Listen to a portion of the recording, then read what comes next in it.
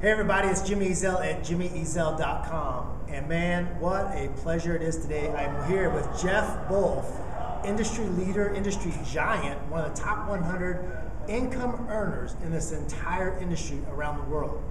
And uh, just an honor to be able to spend some time with him. I've known him for many years, and uh, that's another story we'll sh- uh, share for uh, another video.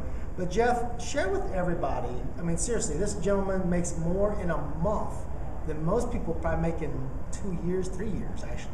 So, Jeff, share with everybody just some tips on how, you know, maybe something you want to share with the with our uh, community on how to become a success in this industry.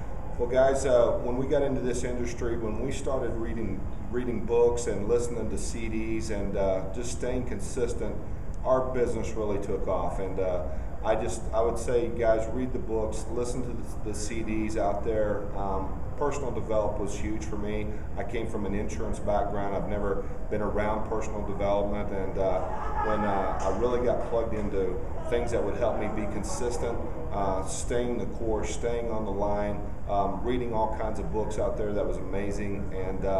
Uh, I would say that was the key for me, Jimmy, because I'd never been around that type of thing before, coming from an insurance background, um, and it helped me open my mind, you know, like the Think and Grow Riches out there and things like that, to you know, open my mind to a whole new realm of things out there that helped us uh, just really be consistent in this business, and it's catapulted us up to the top of the company. Awesome. So personal growth, big big uh, deal. All all top leaders know this, and Jeff accounts that for his, some of his success in terms of getting to the very very top. Anything else? Jeff, Yeah, the add? thing I would tell you, find out who you're surrounding yourself with. See, eight years ago, I was hanging out with the wrong crowd.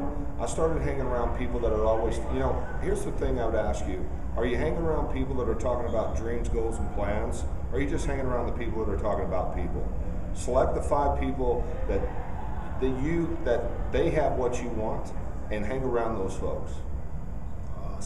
That's a good tip, folks. That's why I'm hanging out with Mr. Bolf today. So, uh, Jeff, we appreciate you getting on here. Thanks, and just uh, continued success in everything that you do, folks. Uh, Jeff Bolf, one of the top income earners in this entire industry, top 100. So pay attention to the nuggets he dropped today. We'll see you on the next video. God bless.